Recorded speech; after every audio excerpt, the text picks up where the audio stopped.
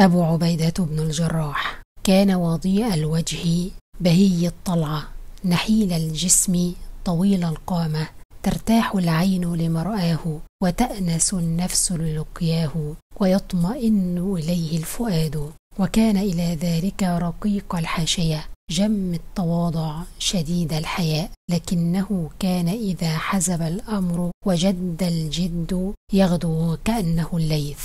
ذلكم هو أمين أمة محمد عامر بن عبد الله بن الجراح الفهري القرشي المكنى بأبي عبيدة. نعته عبد الله بن عمر رضي الله عنهما فقال ثلاث من قريش أصبح الناس وجوها وأحسنها أخلاقا وأثبتها حياء. إن حدثوك لم يكذبوك وإن حدثتهم لم يكذبوك. أبو بكر الصديق وعثمان بن عفان وأبو عبيدة بن الجراح. كان أبو عبيدة من السابقين الأولين إلى الإسلام فقد أسلم في اليوم التالي لإسلام أبي بكر وكان إسلامه على يد الصديق نفسه فمضى به وبعبد الرحمن بن عوف وبعثمان بن مضعون وبالأرقم بن أبي الأرقم إلى النبي صلى الله عليه وسلم فأعلنوا بين يديه كلمة الحق. فكانوا القواعد الأولى التي أقيم عليها صرح الإسلام العظيم. عاش أبو عبيدة تجربة المسلمين القاسية في مكة منذ بدايتها إلى نهايتها وعانى مع المسلمين السابقين ما لم يعانيه أتباع دين على ظهر الأرض. فثبت للابتلاء وصدق الله ورسوله في كل موقف. لكن محنة أبي عبيدة يوم بدر فاقت في عنفها حسبان الحاسبين وتجاوزت خيال المتخيلين. انطلق أبو عبيدة يوم بدر يصول بين الصفوف صولة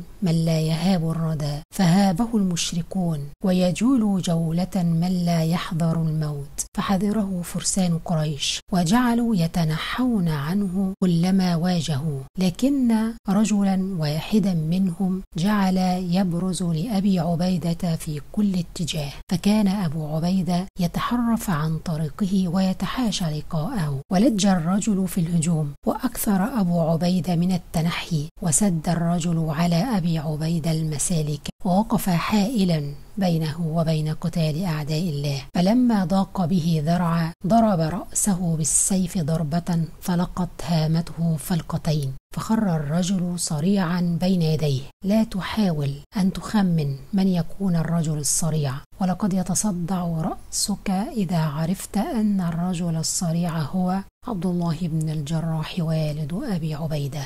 لم يقتل أبو عبيدة أباه وإنما قتل الشرك في شخص أبيه. فأنزل الله سبحانه في شأن أبي عبيدة وشأن أبيه قرآنا فقال لا تجد قوما يؤمنون بالله واليوم الآخر يوادون من حاد الله ورسوله ولو كانوا آباءهم أو أبناءهم أو إخوانهم أو عشيرتهم. أولئك كتب في قلوبهم الإيمان وأيدهم بروح منه ويدخلهم جنات تجري من تحتها الأنهار. لم يكن ذلك عجيبا من أبي عبيدة فقد بلغ من قوة إيمانه بالله ونصحه لدينه والأمانة على أمة محمد مبلغا طمحت إليه نفوس كبيرة عند الله. حدث محمد بن جعفر قال قدم وفد من النصارى على رسول الله صلى الله عليه وسلم فقالوا يا أبا القاسم أبعث معنا رجلا من أصحابك ترضاه لنا ليحكم بيننا في أشياء من أموالنا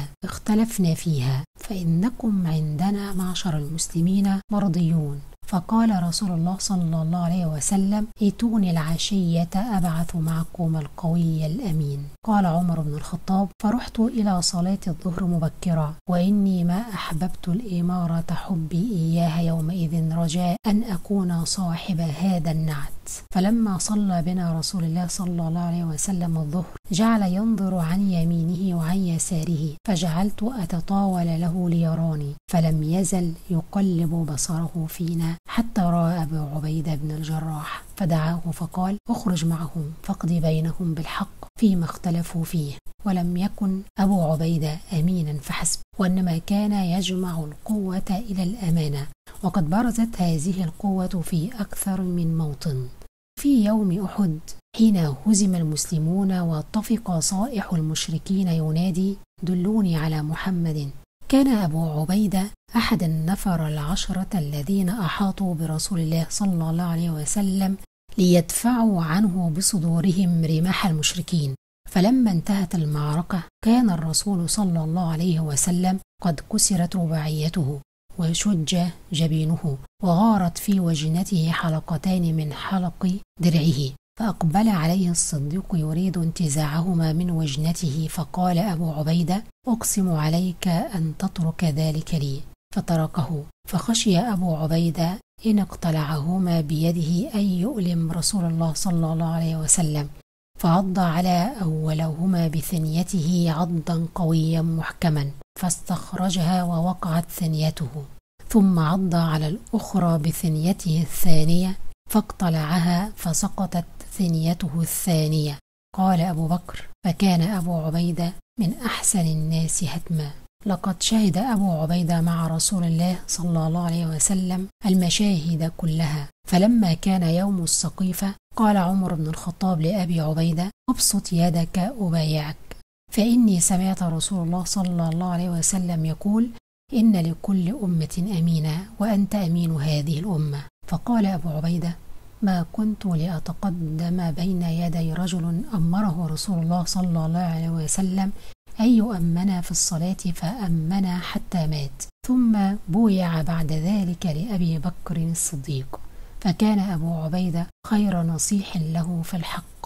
وأكرم معوان له على الخير. ثم عهد أبو بكر بالخلافة من بعده إلى الفاروق فدان له أبو عبيدة بالطاعة ولم يعصه في أمر إلا مرة واحدة.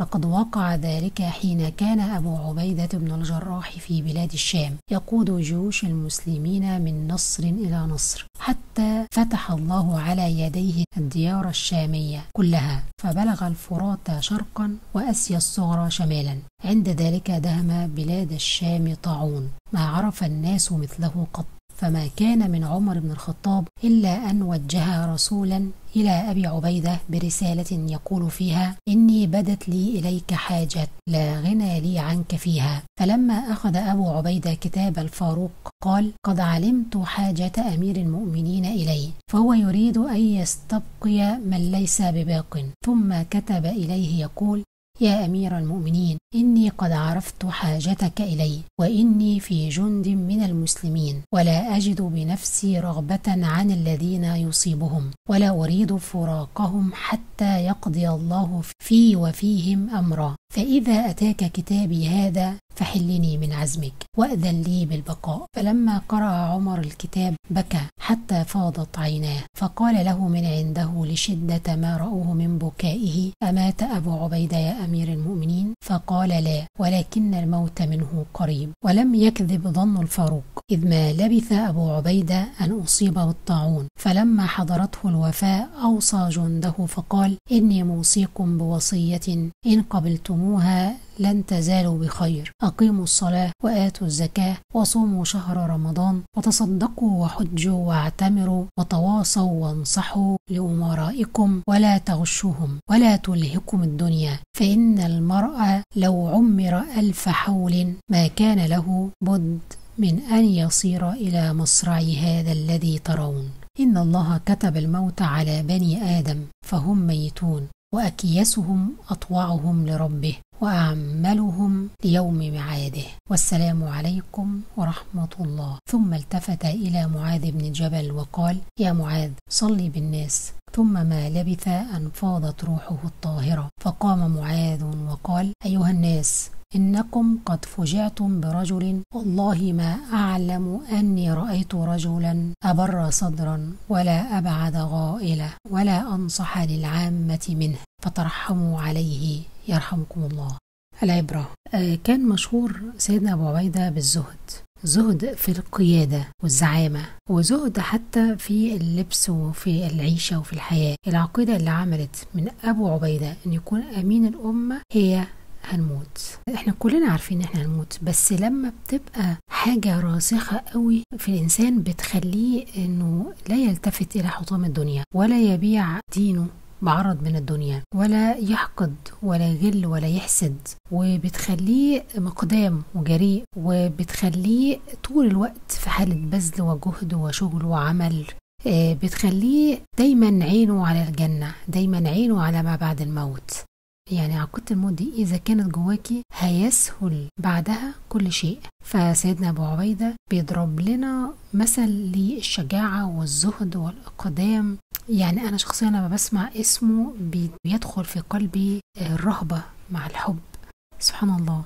فإذا الإنسان ترك الدنيا قبل ما الدنيا تتركه بيقع في نفوس الناس كده على فكرة اللي حواليه. بتقع الهيبة في قلوب الآخرين منه. اللي بيدور جواكي وبيدور في قلبك بينعكس على سلوكك وبيبقى ليه تأثير جامد جدا على الناس اللي حواليكي. وتجلى طبعا حب أبو عبيدة بن الجراح للدين إنه قتل أبوه في المعركة. هو كان محطوط في موقف لا ربنا لأبوك لعواطفك الإنسانية للدين. بصي العلاقة دي لازم هتقابلك. ولازم هتمر بيها وده مناط التكليف. هتيجيلك لحظات بتقولي فيها شغلي ولا ربنا.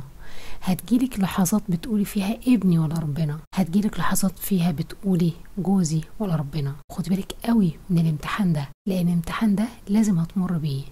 لازم. فعشان تقدري لما تتحطي في مقارنة كده ما بين اختيار أمرين ديني ولا نفسي ومشاعري ومصلحتي لما يحصل تعارض ما بين دينك ودنيتك يا ترى هتقدري تعمليها إزاي؟ إيه اللي ممكن يساعدك على إنك أنت تتخطيها وتقدري فعلا تختاري الدين بكل سهولة؟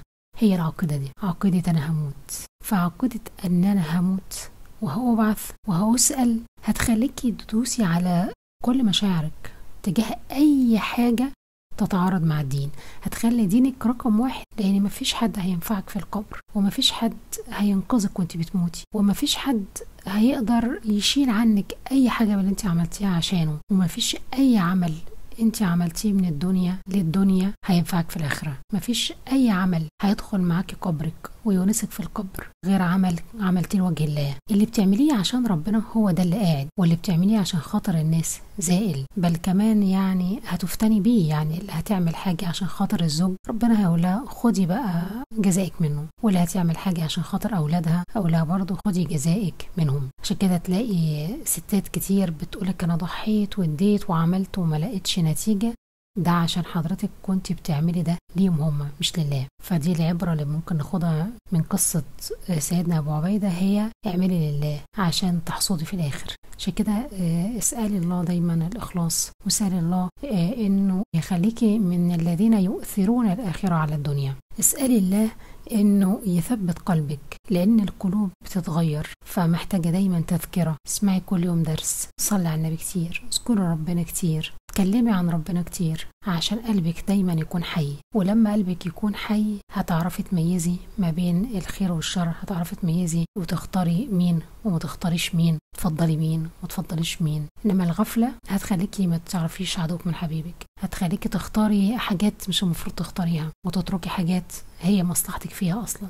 البصيرة مصدرها القلب فالقلب حافظي عليه دايما حي. بفهم الدين الصحيح. يعني لو اتعلمت دينك صح وتعلمت الإسلام صح هتلاقيكي بتختاري بطريقة مختلفة. أولوياتك في يومك حتى مختلف. مش هتلاقي نفسك بتخافي زي ما كنت بتخافي. مش هتلاقي نفسك مترددة بين امرين زي ما كنت مترددة. كلما ازددتي قربا من الله سبحانه وتعالى وازددتي حرصا على طاعته تزدادي بصيرة بتزدادي وعي بتزدادي فهم. فتقدري تعرفي كده مش اللي فالح في في الدنيا وشاطر وبيعرف يجيب القرش هو ده الفائز. لا الفائز اللي يفضل الآخرة عن الدنيا لأن هو ده العاقل هو ده العاقل إحنا هنعيش كام سنة يعني؟ فلو بصيتي كده من بعيد كده هتلاقي إن مفيش مقارنة أصلا ما بين الآخرة وما بين الدنيا. فيقع في قلبك الزهد في الدنيا وإذا وقع في قلبك الزهد في الدنيا خلاص انت هتنجحي في الدنيا على فكرة وهتنجحي في الآخرة وهتنتصري في الدنيا وهتنولي كل خير. ربنا سبحانه وتعالى زين الأرض لامتحاننا. وخلق جوانا شهوات ده امتحانك. يا ترى هتعملي إيه؟ فاسألي دايما الله سبحانه وتعالى الثبات على الأمر وإنه يلهمك رشدك. وما تتحركيش أي خطوة ولا تعملي أي حاجة إلا باستخارة. وإذا جاءك خير فانسبيه لله سبحانه وتعالى. وإذا جاءك شر قولي عادي دي طبيعة الدنيا. مش أهم حاجة أرض الناس اللي حواليا. عشان بس في لخبطة قوي في القصة دي. أصل أنا عشان أرضي أبويا قلعت الحجاب أصل أنا عشان أرضي زوجي. مش هلبس حجاب. إحنا مش هدفنا إرضاء الناس دول. إحنا هدفنا هو إرضاء ربنا فيهم. يعني إذا أمرني بمعروف أعمله لأن ربنا أمرني بكده. إذا أمرني بحاجة تخالف شرع ربنا لا مش هعملها. فالبصيرة دي إنك تقدري تفهمي دينك صح وتنفذيه صح عشان تاخدي الثمرة اللي وراه وهي الجنة ورضا ربنا سبحانه وتعالى. دي محتاجة منك عقيدة هتموتي. مش حد ينفعك جزاكم الله خيرا. السلام عليكم ورحمة الله وبركاته.